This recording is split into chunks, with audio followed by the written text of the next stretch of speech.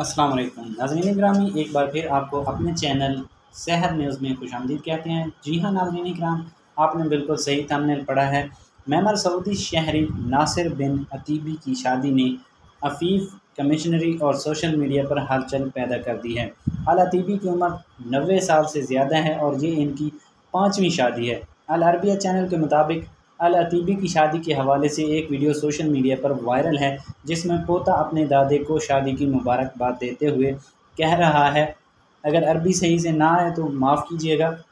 Mabrook जद्दी हाजल उर्स व bill Rafah वल बनैन। यानी दादा जान शादी मुबारक हो, खुशहाली हो और औलाद नसीब हो। मैमर सऊदी शहरी की शादी का किस्सा मुख्तलिफ़ ज़रा इबलाग में गुफ्तु का मौजू बना हुआ है।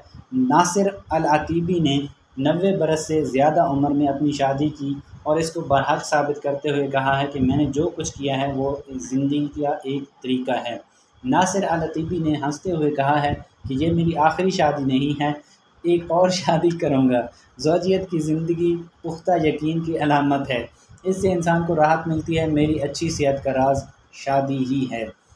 मैमर शहरी ने शादी की मुखालफत करने वाले नौजवानों से कहा है कि आएँ, आगे बढ़कर शादी करें। अगर दीन का तहफ़ और दुनियावी ज़िंदगी का लुत्फ़ उठाना चाहते हों तो शादी करो। अलतीफ़ी ने कहा है कि मैं हनी मून रहा हूँ, खुश हूँ, बुढ़ापा, शादी की राह में हायल नहीं होता, मेरे चार बेटे हैं, एक वफ़ात पा चुका है, मैं दादा बन चुका हूँ, मगर मैं मज़ीद बच्चों की ख्वाहिश रखता हूँ।